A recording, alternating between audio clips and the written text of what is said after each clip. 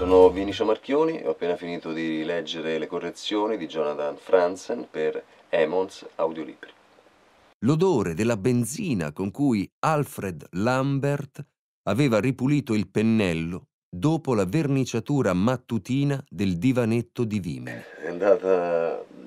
benissimo perché è veramente uno dei libri più belli, grandi,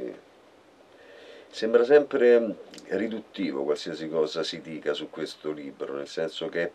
è sempre di più, ha una ricchezza di descrizione, è incredibile, insomma è uno dei libri più belli che abbia mai letto proprio io. La meraviglia è che lui prende proprio l'americano medio,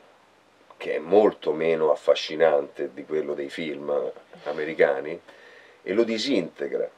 Vedi proprio l'approccio americano alla vita,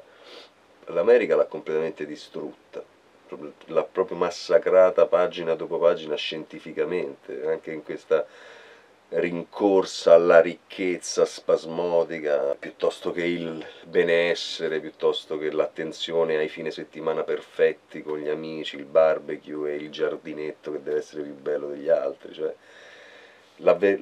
veramente distrutta, l'America l'ha completamente massacrata. Leggerlo è stato bellissimo, perché a parte il fatto che ti innamori di tutti i personaggi, tutti, ti riporteresti a casa tutti e cinque, si trasformano continuamente o in dei mostri assurdi, come ogni essere umano è in grado di,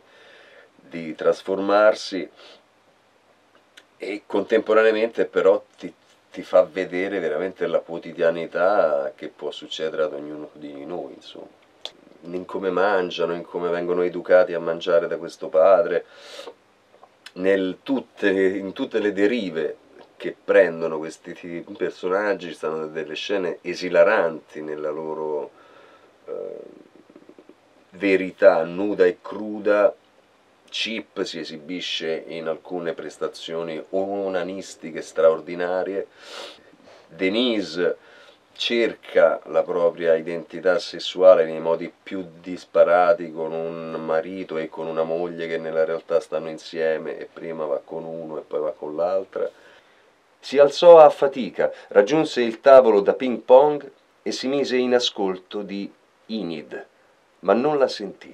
Per un attore mantenere il flusso di, di pensiero, l'intonazione comprensibile a chi ascolterà l'audiolibro